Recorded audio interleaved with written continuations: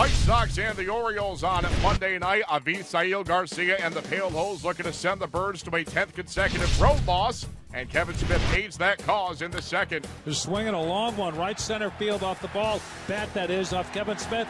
Gone to the bleachers in right center. Smith has hit his first. Sox lead 2 0 here in the second. And Kevan Smith contributes with his first big league home run. Avi Garcia charges one up, deep right center field, and here comes Abreu. Two more. Happy birthday, Avi. On the ground, up the middle, base hit. Melky's home, Abreu's home, 8 to 2.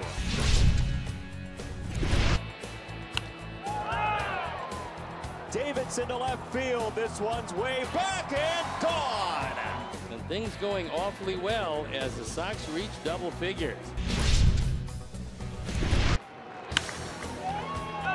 Into left field. Schoop going for two, and Schoop is out. Game over. They want to check and see if indeed he was out. Sox win. White Sox defeat the Orioles 10-7. Baltimore's fifth straight loss by a combined score of 54-16 and their 10th straight road loss. The first time that's happened since September of 2009.